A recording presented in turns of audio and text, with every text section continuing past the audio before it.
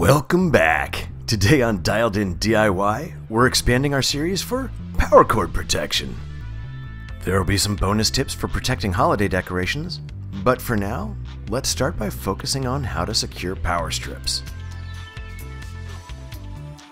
I'm going to begin each step with a little animation of what needs to be done, followed by the actual demonstration of how I build mine. In this case, we're starting with this 3-inch PVC drain pipe, and we're going to prepare it for the exact length we need to cover our power strip. After we have the right length of pipe, we're going to make a notch right along the top that allows us to look straight down inside to see all the plugs on the power strip.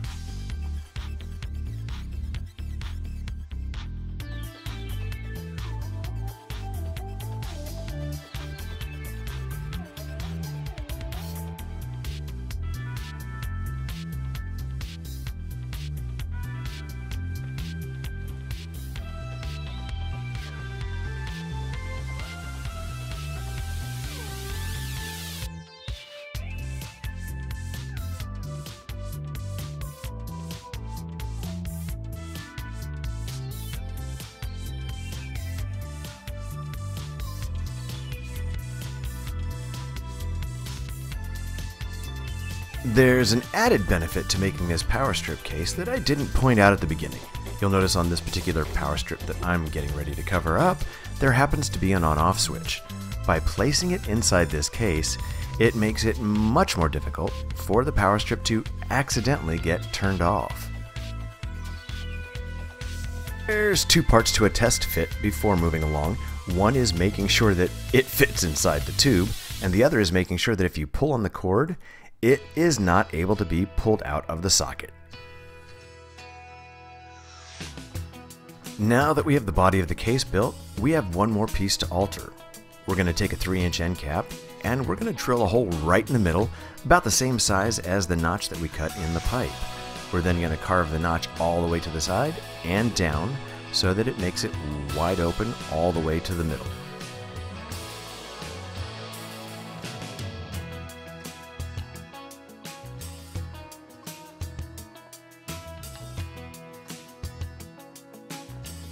At the beginning, I mentioned that I was expanding upon a series, and that's because I have two previous videos that I did for securing extension cords and inline connections, like the type you'll find when you're putting up holiday decorations.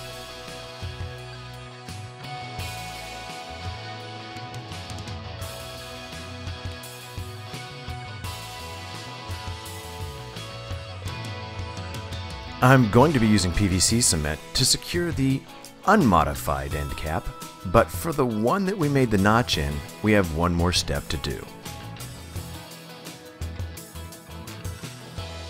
The last thing I'll be doing, other than decorating it, is drilling two holes in the cap and through the body of the case so that I can secure it with a zip tie.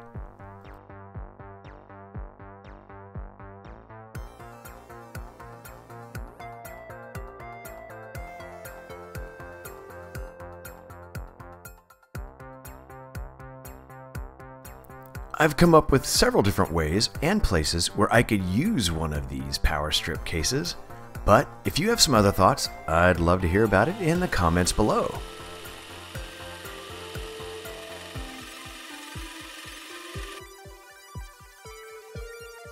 When decorating PVC, I do always like to make sure to put a good coat of primer on there first before I start throwing down the spray paint, and then when you're done, just to protect that lovely paint you put on there, it's always nice to put a good coat of shellac or some kind of sealant like that on top as well.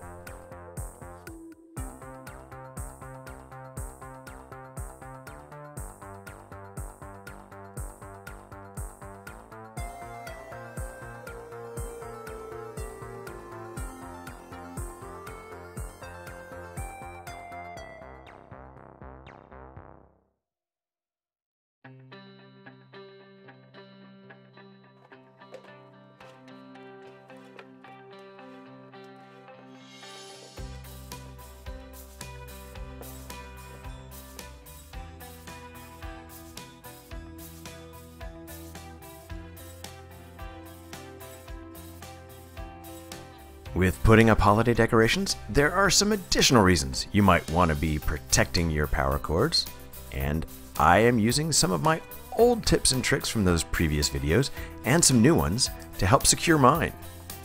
I have found that the inline cases are great for protecting your cords for a lot of reasons, and I use zip ties to try to help bring them up off the ground even more.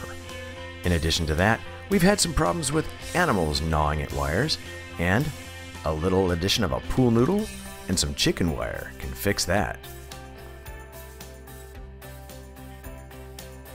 Hey, thank you so much for taking time out of your day to stop by Dialed In DIY to check out my video. If you enjoyed it, got something out of it, or merely powered through to the end, please let me know by clicking that thumbs up below. I'd also love it if while you're here, you go ahead and subscribe and click on that bell so you'll get notifications for future videos.